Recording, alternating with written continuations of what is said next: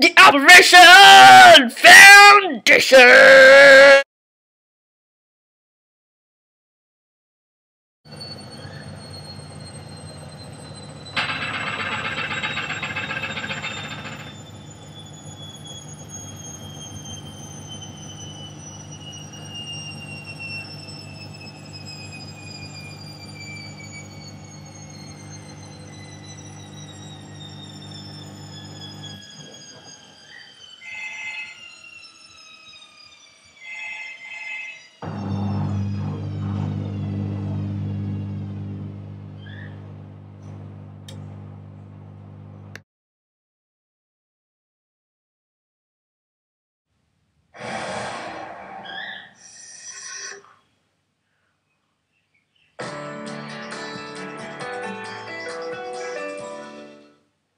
A large high pressure system in the Bight is continuing to direct cool southwesterly winds into Tasmania, Victoria, and New South Wales, but it's also keeping the interior of the country clear and dry.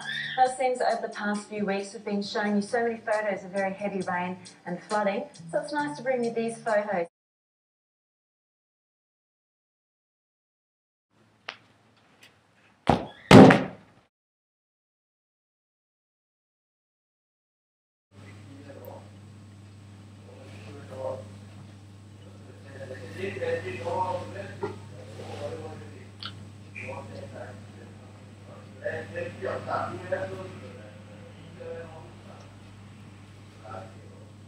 Yeah.